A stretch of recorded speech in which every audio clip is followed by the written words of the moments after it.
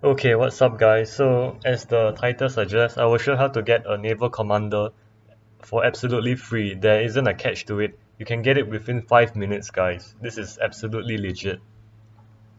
Okay, first we join Doom, as you can see. And just talk to this guy. I mean, he's the only guy to talk to. Um, Doom, yeah, merge shop, yes.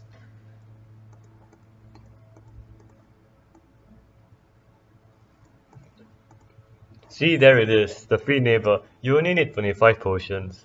And if you say that this isn't really a naval, well, um, uh, screw you, it looks like a naval commander, it's a pirate armor, so it is, okay? I don't care if you're triggered, um, this is a legitimate way of getting the armor, so yeah, you can thank me right now.